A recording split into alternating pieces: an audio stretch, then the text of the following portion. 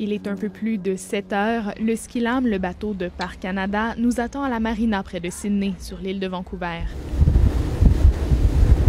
Il faudra environ une heure pour se rendre sur les berges de l'île d'Arcy, la plus au sud du parc national des îles Golfe.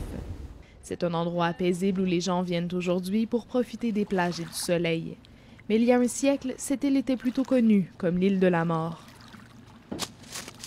It was a place where people with Hansen's disease were sent.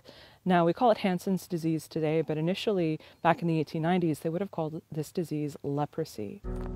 Ces gens étaient pratiquement tous originaires de Chine. Entre 1891 et 1924, une cinquantaine de personnes ont été envoyées sur cette petite île. À l'époque où la ville de Victoria était responsable du lazaret, ces établissements où l'on isole des malades contagieux, les hommes de l'île d'Arcy étaient complètement laissés à eux-mêmes. They had no care given for them. They had no access to nurses. They had no access to medications. They were simply left with food supplies every three months. Au moins une douzaine d'entre eux y ont péri. Ce que nous sommes venus visiter, ce sont les ruines de la maison du gardien. En 1907, lorsque le gouvernement fédéral a pris le contrôle de ce qui était essentiellement une colonie lépreuse, les conditions ont changé et du personnel de soins a été envoyé. Mais le racisme, lui, a persisté. So even though a caretaker was now permanently living here in residence, the racism was so uh, complete, so thorough, that they picked up those people and moved them even farther away. Les malades ont donc été transférés sur une petite île voisine.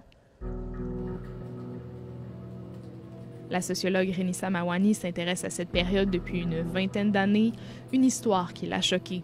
Clearly, it's not a history that um, the city of Victoria or the province of British Columbia or even the federal government really wanted to commemorate, given the uh, violence that was directed at the men who were sent there. À la même époque, d'autres patients atteints de la maladie de Hansen étaient envoyés dans un hôpital du Nouveau-Brunswick où ils y recevaient des soins. Leur différence, ils étaient blancs. It tells you that the fear was less about the illness and more about race.